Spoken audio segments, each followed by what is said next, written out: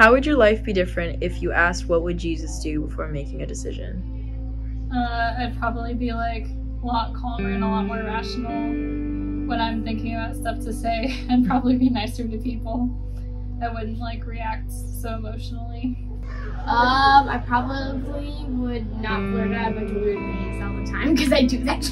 I uh um I seriously I don't ask myself that all the time, but there are times during the day when I catch myself going, Would Jesus do this? And I must admit, I I'm sure my life would be better if I did it more often. Hmm. But I'm doing the best I can. Would say better because I, I, I would follow whatever um, Jesus would say to do because it's probably the most morally correct answer. Or, and I, I trust in Jesus. So. If I were to ask Jesus, ask, ask what Jesus would do,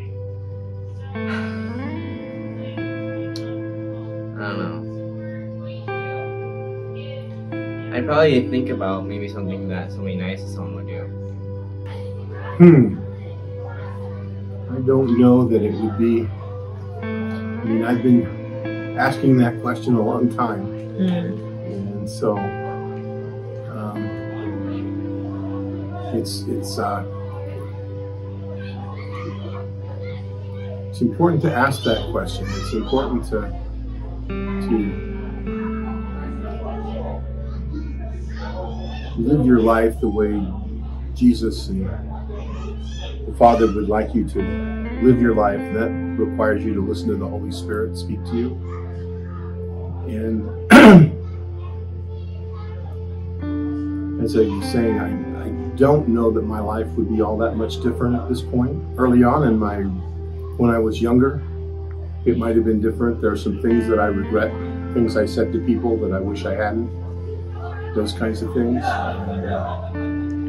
But uh, yeah, it's uh, it's an important question to ask.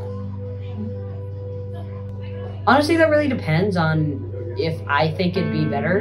It, it would be better for uh, the people around me or not. So, if it like told me to do something like good, I'd probably do it. But if it told something that if they told me to do something that I probably uh, wouldn't think would be good for the people, I probably wouldn't do it. I'd do the opposite. Uh, I would probably stop making or make less impulsive decisions and probably like feel more guilty about maybe not being as proactive in doing stuff.